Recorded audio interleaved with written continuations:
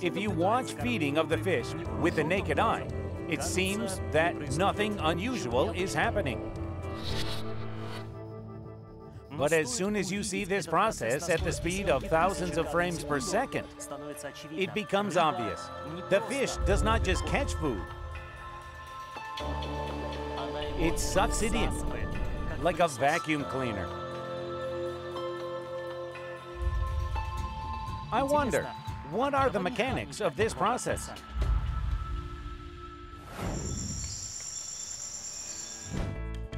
When the fish's mouth is closed, the pressure inside is low. But as soon as it opens up the mouth sharply and widely, the water rapidly fills the mouth and carries the prey with it. The only thing left to do is to swallow it and let the water out through the gills.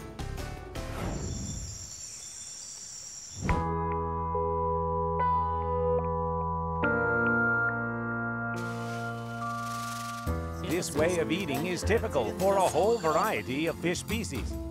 And it doesn't matter whether they suck food from the bottom or from the surface, or while it's sinking to the bottom. By the way, if the food is not to its taste, the fish can do this.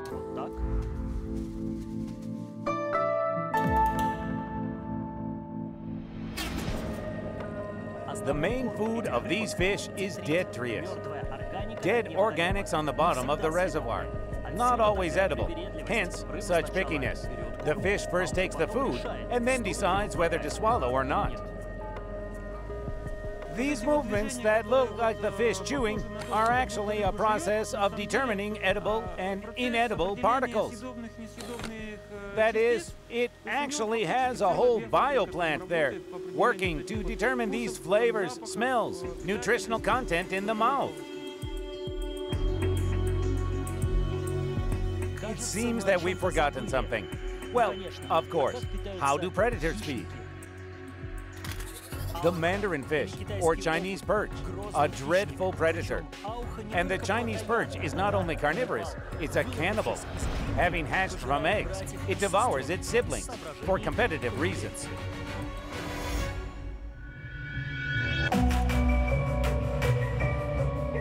The Chinese perch preys from ambush. It targets, leaps forward, and sharply swallows the prey.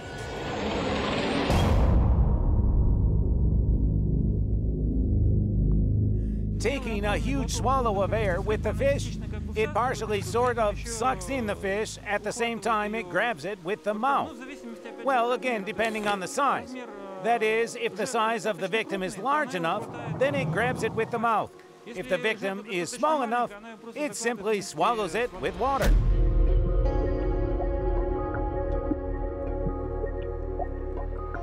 The Chinese perch drains excess water through the gills. By the way, without this, it would have a recoil effect, as in the case of a shot.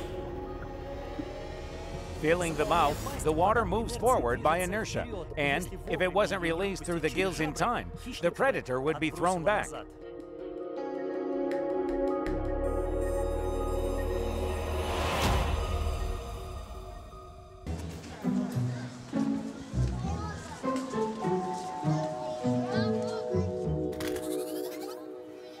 Black Panther. Who doesn't know or hasn't seen this animal? In zoos like here, or in movies, cartoons. For instance, Bagheera from Mowgli is a panther. And now probably many will be surprised when I say that there is no such animal in nature. There is no Black Panther, and in general, never has been.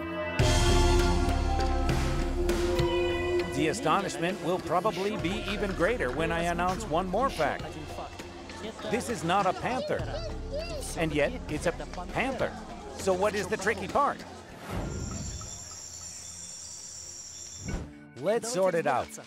If you look at some black panthers close up, you'll see black spots visible on their coat.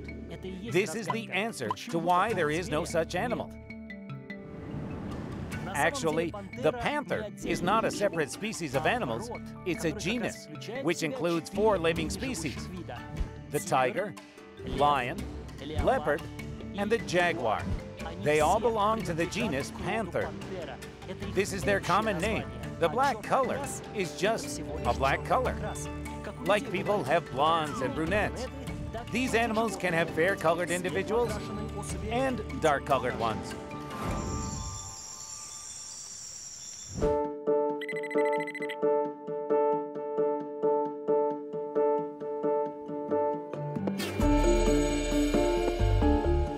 Jaguars and leopards are not the only ones of their kind. Dark color is found in all biological species, from mollusks to chimpanzees. Such individuals are called melanistic animals due to the excess of the pigment melanin. To make it clearer, these brunettes are the exact opposite of light-colored albinos.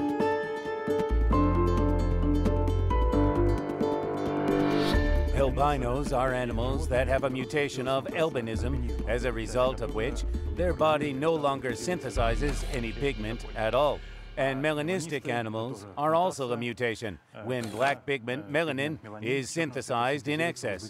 There can be very much of it. Then such animals are purely black, maybe a little less. Then there is a mixture of black and red. Formally, both albinism and melanism are a deviation from the norm, an error in copying DNA. Just a second, but what is the norm? After all, the black raven, for instance, is a melanistic animal by all indications, and a polar bear is an albino. However, for them, this color is common. Initially, the basis can be the same, a mutation. But when this mutation has entrenched and has become a characteristic of all animals of this species, it is sort of no longer a mutation, but a normal animal.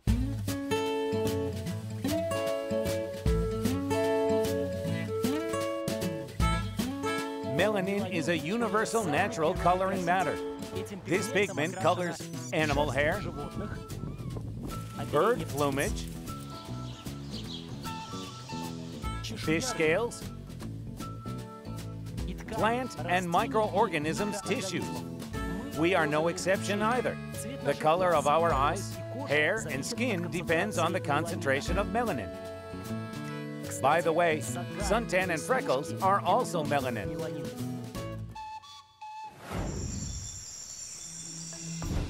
All vertebrates, including humans, have melanin-producing special cells, melanocytes, located in the lower layer of the skin. Outwardly, they resemble sea stars.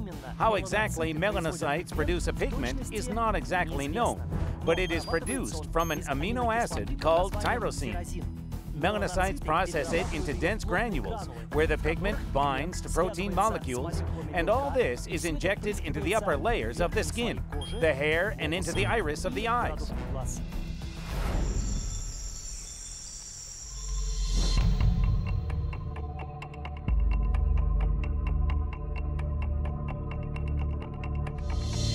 But still, why do, for instance, melanistic jaguars and leopards produce more pigment than most of their relatives?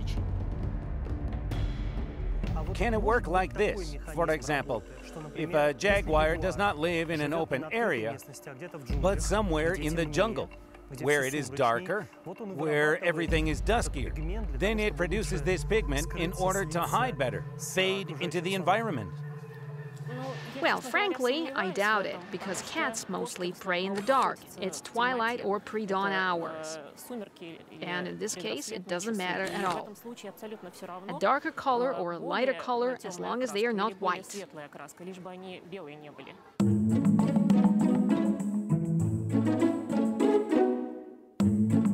It may seem that melanism is such a joke of nature. But for many animals, this is a very useful quality. When there's a lot of melanin, then these animals are more resistant to stress. They are better at inactivating poisons. With respect to albinism, it is more difficult. They have no melanin. That is, they are less resistant to stress.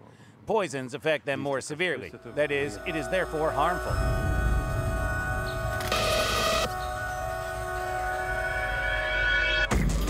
You must have heard that in the case of a nuclear explosion, only cockroaches will survive.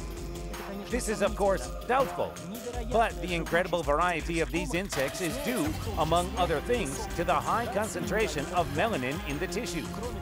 In addition, it protects against radiation quite well.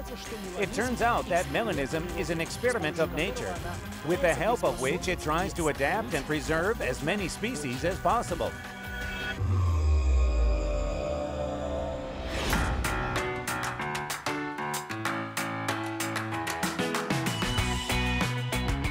Next in the program, incredible, beautiful, and frightening eyes of animals. You cannot even guess whose eyes are these or those. And are decorative pigeons a joke of nature or a fancy of man? Why do their breeds look so unnatural? We'll continue to explore the world of these anything but simple animals in a couple of seconds.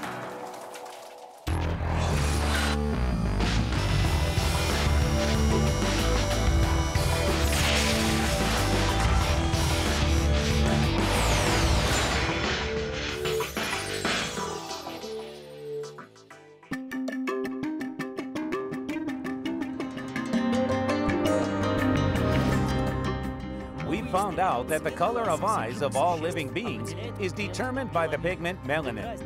Yet the difference in the structure and capabilities of the organs of vision in humans and animals is immense.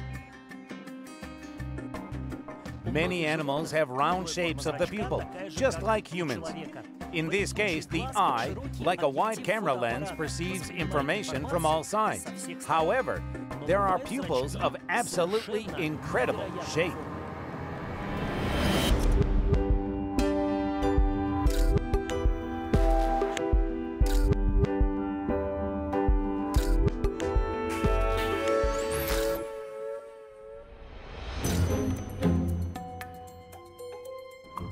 Try to guess what kind of animal is it? A hint, it has horns, hooves, and a beard. No, it's just a goat. And they've got such unusual pupils in their eyes because they are climbers. They are happy to jump onto cars. Well, what I mean is, they have mastered the vertical so effectively, owing also to their eyes being able to scan the vertical. Now, if we look at this slit, it means that it reflects rays much better on the fundus. An elongated longitudinal pupil widens the field of vision. For example, in humans, it is about 160 degrees, and in horses, it is about 340. This is also necessary to be able to notice the danger in time. For the same reason, eyes of herbivores are located on the sides of the head and scan the space independently of each other. People in this regard are closer to predators. We more often see the object with two eyes jointly. This is useful as humans are more often interested in the size of the object and how far it is. Predators estimate the size and distance to the object too in order to understand whether it is worth preying on it or not.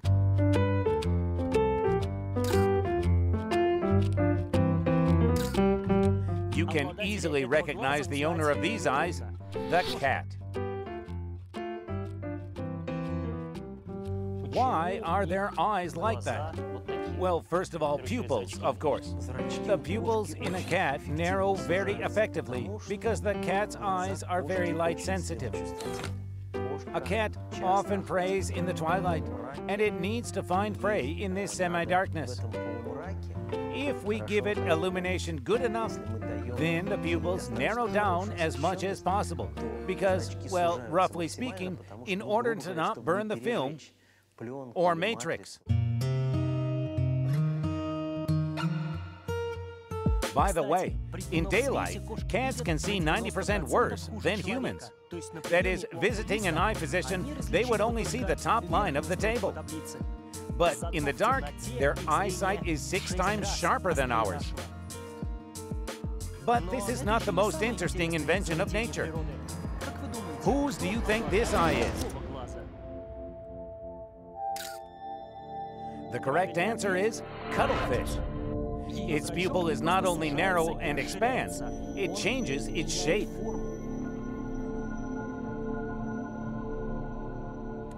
I think that such an active visual position might be connected with its way of protection when it releases the ink.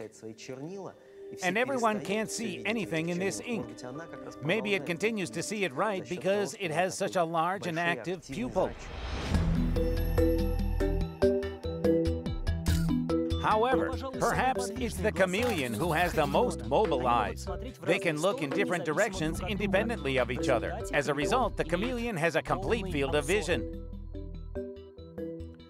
Well, it's an analogy of what we see in security systems when one monitor receives information from several cameras.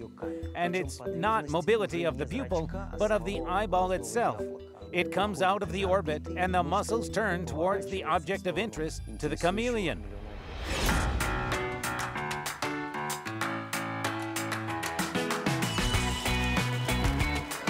Next, in the final part, nature would have never been able to make such a bird breed. They're invented by man. But how and why? The next part of these anything but simple animals in a couple of seconds.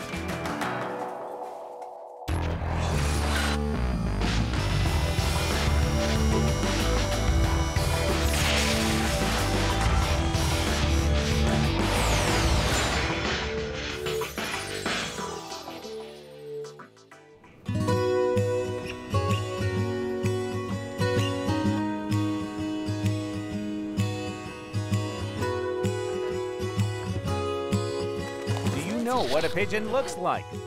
You might wonder, what kind of question is this? Who hasn't seen these birds? Well, you probably haven't seen these. These are decorative pigeons. Here is a breed called the pouter pigeon. And here's the ice pigeon, which is called the statuesque pigeon in Russian. As you might guess, it has a special posture. The head of this bird should be flush with the tail. Or this one, a fantail breed. And that's true, there is something similar. Of course, this is not a creation of nature, but a miracle of selection. Yet when you look at such birds, the question arises, why are they bred? It's beauty. It's pure beauty and only for beauty. These pigeons are kept only for beauty. They are not flying birds. They don't fly. They live in dovecotes. They in the wild. They don't see the sky. They won't survive in the wild. They won't survive. In the wild, they'll be eaten at once. Cannot find any food, no water, nothing. They are already used to being fed by the owner. Water. Everything will be fine and wonderful. How do such decorative breeds appear? Birds are interbred until a stable sign appears. The selection of one breed takes 10 years on average. And somehow, it doesn't even fit into my head that all these incredible birds have a common ancestor, a wild dove. You take a usual old breed, up to even just a wild dove, as the blood is strong, as the immune system is very strong, and you begin to experiment on it. First, you interbreed it with a white pigeon. Then the children are, are interbred. That's parallel interbreeding. When the breed is sealed, it shouldn't be interbred so as not to spoil it. That's one of the reasons why dovecotes are divided into sections. Every section has its own purpose.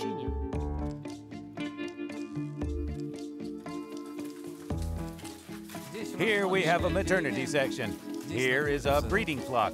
Well, this analogy of a maternity hospital. If you draw an analogy between people and pigeons, it's a maternity hospital for pigeons.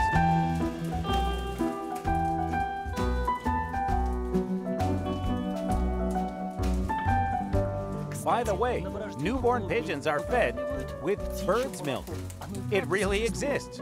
It is a mixture of fats, proteins, and minerals, which is produced in pigeons' craw, with both parents having it. After three weeks, the fledgling chicks are transferred to the next section. And here you have children's room. Well, that is sort of the youngsters are here. Yes, the young. Pigeons don't like cramped spaces, especially decorative ones. Each bird needs about a meter of personal space. Most pigeons begin to fly when they're a month old. By this time, they should be transferred to a section called Pigeon Run. What I mean is that from here, pigeons already fly outside, outside. But there, on the outside, they don't spend much time. As if following the saying, if you're well off, don't seek better. Pigeons prefer a warm dovecote, familiar roosts, and feeders with waterers to the open sky.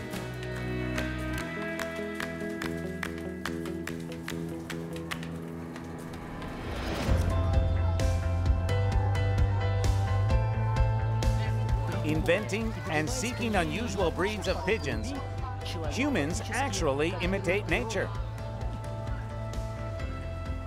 He is a creator too.